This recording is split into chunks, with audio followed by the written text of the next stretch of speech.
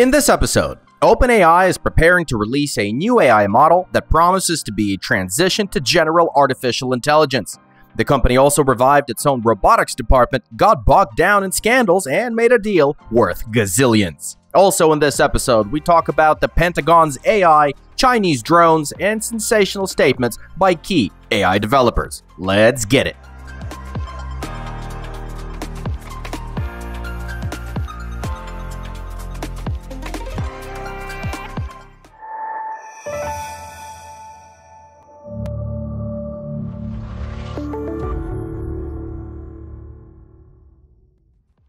Humanoid general purpose robots from 1X Technologies, backed by OpenAI, are indeed getting smarter. In previous videos, Eves autonomously performed a variety of tasks. It looked impressive, but they were specific and the robots didn't have to switch back and forth between them.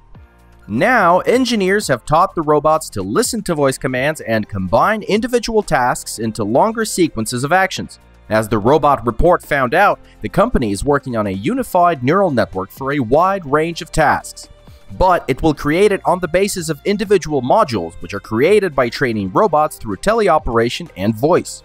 The developers are currently creating a library of skills in which each action is displayed in the form of simple language descriptions. As a result, to start the robot's operation or correct an error in its actions, it's enough to give a voice command by, surprise surprise, speaking. This greatly simplifies the interaction with the robot, whether it's one or several. At the same time, 1X already has a common navigation and handling policy, and in the future, the robots should learn actions such as opening doors, crates, and bottles. The engineers are really excited about the last one, but as of yet, they say it's still too early for that. The downside of this approach is that it's necessary to teach robots every skill without exception. This greatly hinders the development of universal brains for robots. We'll tell you all about pros and cons of this approach and whether there are alternatives in our next video, so hit that bell and subscribe to get in on the latest action. Meanwhile, OpenAI, contrary to Sam Altman's recent statements, is still working on GPT-5, the AI model that will replace GPT-4. Before that, Sam announced the model, then stated that it wasn't needed at all and they should just stick to GPT-4o, the company's latest model. Now it seems the company's made up its mind on how to approach this topic. In their blog post, OpenAI said that the new model will get, quote, next level capabilities, which is on the way to creating a strong artificial intelligence, otherwise known as AGI, that can match the capabilities of the human brain. This model will extend the functionality of chatbots, digital assistants, search engines, image generators, and other AI-based applications. Training this model is already underway and is expected to become available this winter.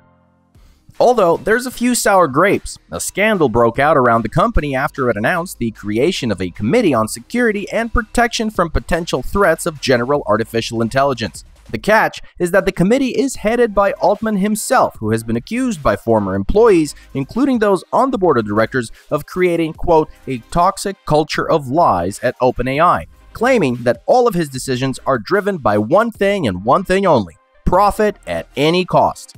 In theory, the committee will oversee the development of a new large language model that will eclipse all previous ones, but not just to oversee, also to conduct research into AI ethics, child protection, ensuring non-interference in elections, and assessing the impact on society. However, many believe that such self-control looks almost like a farce against the backdrop of the once non-profit organization's quest for super profits. Not to mention the restructuring of the Super Alignment team, which up until a month ago was headed by none other than OpenAI co-founder Ilya Sutskever. On the other hand, the company is successfully moving towards its goal if money is the aim. Apple and OpenAI have signed an agreement recently to include advanced generative AI technology in Apple's software. The deal could bring OpenAI billions of dollars since everybody knows that Apple is sitting pretty on a Mount Everest of cash. But for Microsoft CEO Satya Nadella, it brings an unnecessary headache. Nadella is reportedly very concerned about how the agreement with Apple will affect OpenAI's relationship with Microsoft. We'll keep you posted on this one, so stick around. Incidentally though, OpenAI, which has invested in the likes of 1X and Figure, has decided to relaunch its own robotics division. In fact, the company used to try to build robots before. But this direction was closed in 2021 even before OpenAI gained worldwide fame and, more importantly, shekels. By the way, this year the company won the RBR 50 Award for Innovation in Large Language Models, as well as application programming interfaces, or simply APIs, that allowed robotics developers to demonstrate the interaction between physical robots and generative artificial intelligence. Now, it has become known that OpenAI is again recruiting employees to its robotics team. However, it will apparently not develop its own robots. What gives? The new department will focus on improving and implementing the multimodal AI models developed by the company into physical robots of OpenAI's client companies. Engineers will also develop new AI-based applications for clients, which in theory should create more revenue streams for the company.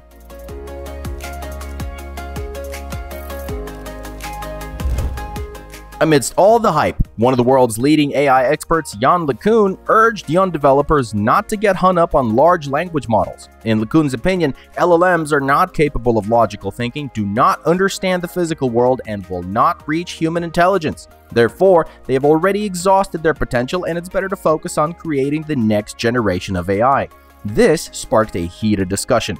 Some fervently supported LeCun. Others, on the contrary, saw this as LeCun's attempt to reduce competition since he himself is a party to the issue at hand. Seeing all this, the scientist elaborated. He believes that companies are already densely engaged in the study of large language models. They have the power, experience, and means, so it will be extremely difficult for novice researchers to offer anything new in the field. That's why he suggests they focus on systems that will overcome the limitations of LLMs and become the next generation of AI. Users on X immediately began speculating about what exactly LeCun meant by such systems. They agreed on several options multimodal AI, general AI capable of reasoning, embodied AI, i.e., brains for robots, self learning without supervision, and more. What do you think? If you had to bet, say, a strawberry Pop Tart, which AI system would you bet on? On to China now. The 8th Drone World Congress and 9th International UAV Expo 2024 just wrapped up a few days ago in Shenzhen. And as always, we got our eyes on the prize. Jiangsu Digital Eagle Technology showcased military equipment at the exhibition, which surprisingly was underrepresented given the scope of such events. Digital Eagle presented an off-road vehicle, a ground robot, and a multi-rotor drone with a suspension in the form of an automatic rifle. In general, the company specializes more on drones for agriculture, but it seems that it doesn't want to miss out on this niche either. ZC Aviation brought its vertical takeoff and landing UAV, the ZC-300, which was tested by the military during an exercise in China a couple of years ago. Then it was used to deliver cargo and medical supplies, which the drone, flying at an altitude of about 650 feet or 200 meters above sea level, simply dropped into the designated area without landing. Now, we didn't count, but it's reported that a whopping 500 drone and other aircraft manufacturing companies were at the exhibition this year. There are a lot of cargo drones, drones for agriculture, and other industries. For example, DJI brought its FlyCart 30 model, which can deliver cargo weighing up to 65 pounds or 30 kilos at distances of up to 10 miles or 16 kilometers. The main purpose of the drone is to deliver large parcels and orders within city limits. DJI was not alone though, since there were a lot of devices like this presented at the expo. But there was only one company that got to woo the audience with a flying saucer. Chinese startup Shenzhen UFO Technology beat Apple to it and presented the iUFO.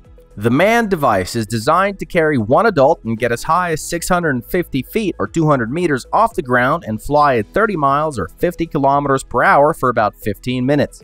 The main purpose of iUFO is to use it as a tourist attraction for sightseeing. Unfortunately, we couldn't verify if alien costumes are going to be included in the package, but we'll keep you updated. And the Pentagon plans to have a comprehensive military artificial intelligence by 2029, which will ensure victory in any conflict. The project was actually presented way back in 2017 and dubbed Maven Smart System. But now it has a contractor, a little company specializing in military software called Palantir. In theory, the Maven Smart system should optimize decision-making processes during military operations. In practice, the system will be primarily responsible for finding and identifying potential targets. To do this, it will collate data from multiple sources, such as satellites, drones, surveillance video systems, and even intercepted data. The prototype should be ready by 2029 and is rumored to be Pentagon's big one. That said, the project is already in the works and it's reported that Maven is deployed in various locations around the world controlled by US military as part of other defense projects. The new cash infusion of nearly $500 million only confirms that the Pentagon has definitely not written it off. At the same time, Palantir recently signed a contract with Hyundai Heavy Industries to build an unmanned vessel for reconnaissance operations. Even earlier, the company received $250 million from the Pentagon for research and experiments with AI and machine learning. If anybody out there knows more about this, please let us know in the comments.